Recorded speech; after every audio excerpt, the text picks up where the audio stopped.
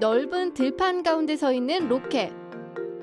잠시 후 이 로켓이 엄청난 화염을 내뿜으며 상승합니다. 어? 근데 높이 올라간 로켓이 다시 내려오네요.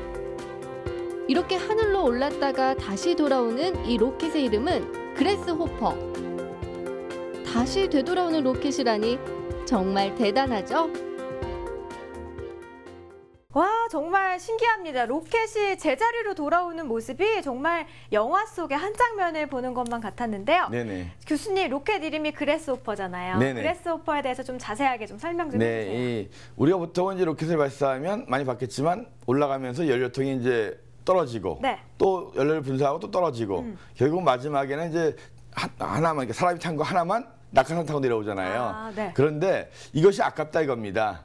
이게 버리지 말고 그냥 올라갔다가 연료통들이 그대로 그대로 내려와 가지고 다음에 또 재생했으면 어떻게 오, 되느냐. 네. 그래서 우주 왕복선처럼 로켓을 계속적으로 재활용하기 위해서는 계속적으로 버려지지 않는 방법을 찾은 겁니다. 그래서 네. 아, 민간 항공 우주 우주 항공사인 그 스페이스 X라는 회사에서 개, 개발한 그레이스호퍼라는 이 로켓인데요. 네. 아, 2012년 9월에 처음 실험을 했어요. 이번이 이제 여섯, 여섯 번째 실험을 한 거거든요. 그래서 그 당시에는 지상에서 한 2.5m 올라갔다 합니다. 음. 그리고 이번에 이제 여섯 번째 실험 만에 한 325m 올라간 거거든요. 오. 근데 아직도 갈 길이 멀죠. 네. 우주에 올라가려면 몇백 킬로를 올라가야 되는데. 그러니까 계속 실험 중인 거죠? 그렇죠. 실험 중에서 점차 점차 높이를 올리고 있는 거예요. 네. 근데 참 과연 가능할까? 저는 아직도 의구심이 드는 게 네.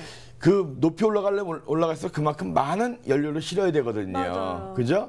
근데 이것이 올라간 데 쓰는 것뿐만 아니라 다시 서서히 역분사해서 내려 내려오는 거거든요. 그러면 올라갈 때 쓰는 것만큼의 또 연료가 더, 더 필요하거든요. 그쵸. 그죠? 그러니까 이것이 현재 저 정도 크기를 가지고 325m 올라간 겁니다. 네. 근데 이게 거의 300km 이상도 올라갈 수도 있거든요. 네 네. 그러니까 그만큼 많은 연료가 들고 많은 실험이 거듭돼야 될 것 같아요. 음. 물론 이제 앞으로 어, 시간이 10년, 20년 흐르면 충분히 가능할 수도 있는 기술이긴 하지만 네. 아직까지는 이렇게 수직으로 이착륙해가지고 재활용할 수 있는 로켓 그레스 호퍼가 갈길 아직 멀다. 왜냐하면 그만큼 연료를 많이 넣어야 되기 때문에 좋은 방법 하나 있습니다. 뭐예요? 그만큼 높은 성능을 가진 연료를 개발하면 되겠죠.